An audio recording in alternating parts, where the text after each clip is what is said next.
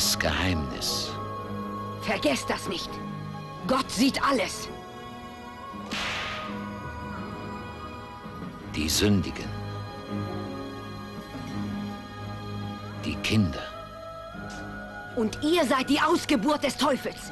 Böse vom Augenblick eurer Zeugung. Blumen der Nacht. Ein Haus, in dem sich Unglaubliches abspielt. Dem Grauen kann hier niemand mehr entkommen. Blumen der Nacht. Sie sind dem Bösen auf der Spur.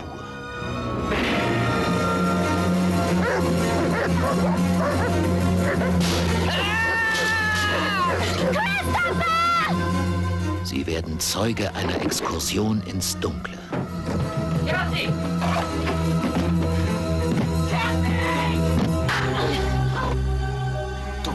du Sünderin.